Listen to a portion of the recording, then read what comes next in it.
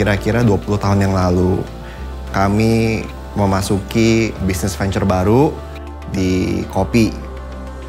Lima tahun terakhir, saya dengan kakak saya Audrey juga memikirkan apa yang bisa dikembangkan lagi dari bisnis kopi ini. Nah, di sinilah kami melihat suatu opportunity di mana kami bisa membesarkan kopi Indonesia dengan coffee liquor. Kami melihat Indonesia adalah suatu negara yang banyak pulaunya, jadi secara itu bisa dibilang kayak archipelago Nusantara. Nah di situlah nama Nusantara Cold Brew itu kami temukan.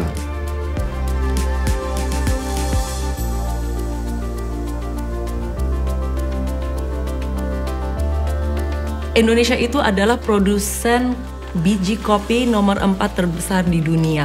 Jadi semua raw material kami udah di depan mata. Dan walaupun ini raw material semuanya coffee bean saja, tapi terus harus kita pakai beberapa tipe coffee bean. Dari Aceh Gayo yang itu sebagai kayak base-nya kita, terus dicampur dengan coffee bean dari Toraja, dan ada juga dicampur lagi dari Kintamani dan West Java di mana kualitas biji itu satu persatu di handpick dengan petani kami yang disortir dengan mata dan tangan mereka sendiri yang tentunya mesin tidak bisa kerjakan. Itu sangat spesial tentunya untuk industri kopi kita. Jadi kami selalu dan sangat percaya dengan memperdayakan tenaga kerja dan petani lokal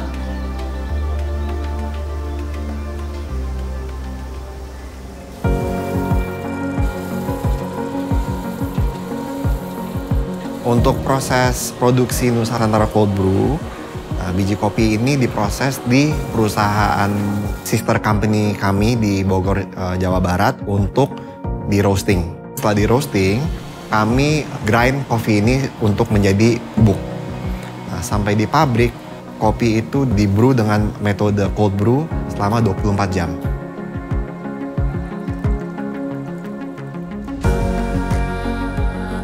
Standar pabrik kami sudah standar internasional di mana setiap tank juga hasilnya harus dites lagi dengan uh, lab asisten kita.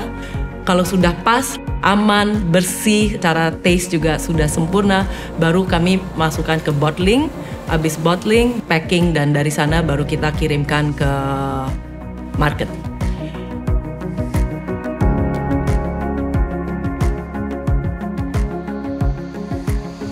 Terus terang target market sebetulnya boleh dibilang um, dari anak muda, working age maksudnya professionals sampai leisure dan dari sektor F&B sampai sektor uh, retail sampai sektor personal semuanya bisa digarap.